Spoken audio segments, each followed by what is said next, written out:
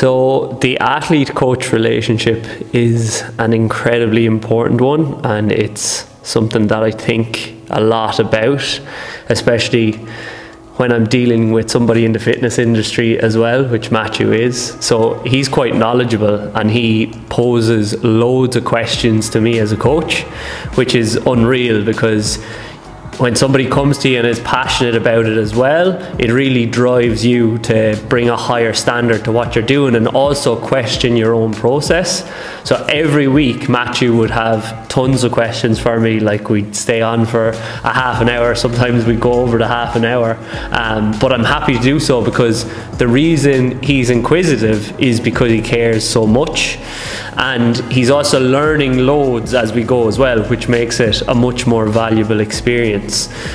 I will say that in our athlete coach relationship, sometimes Matthew has, and other athletes that I work with as well, given that he's in the fitness industry, he's so keen to change so many things at once that sometimes it becomes a little bit diluted, and I'm like, okay, Matthew, let's maybe just focus on two or three things here for this week, see how they go, and then build on them the following week. So I think we built a very good rapport in terms of that.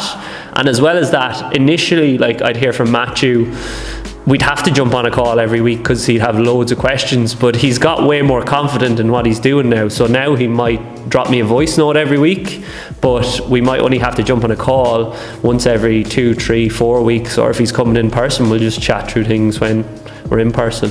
Yeah no i agree with that. Um, like i said after the first few weeks uh, you kind of get to you know uh, know the ropes a bit, uh, know the structure, um, especially that I have a bit of a background. Uh, it's not too much of a struggle for me to get to the gym.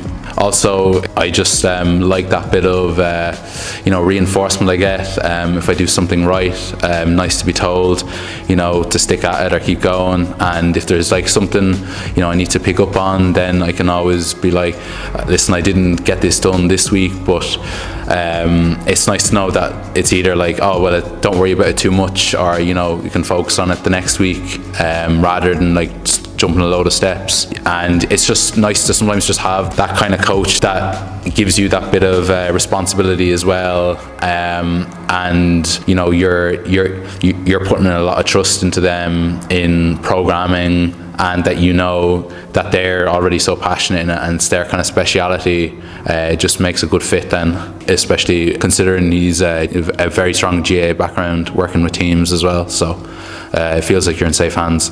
Thanks Matthew. Um, just on that, I think that was something that you definitely had to learn as well over time was that just because it was programmed didn't mean that it had to get done.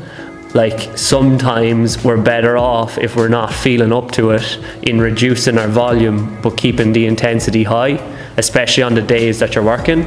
And if something changes in your scheduling and you have a match the next day or a pitch training the next day, then you don't necessarily have to do the speed or should do the speed the day before. Maybe be better just leaving it till the day of. Was that something that you you learned and did that benefit you? Yeah, um, 100%. Um, so yeah, if it like normally I would have been like uh, oh like I have to get this done you know because like it's there and if I don't get it done you know I'm letting someone down. Um, whereas it's nice to have that bit of like reassurance that is like okay listen don't have to do all six exercises but if you do four to a good quality you know that's better. And I can definitely feel that myself like um, you know rather than pushing myself that little bit too much and breaking down over time and over weeks. So it's just always trying to keep yourself fresh and you know having someone that sees it from uh, the player's perspective as well, and that someone that's so closely involved with uh, in-person uh, or pitch side coaching as well. It's really important, I think.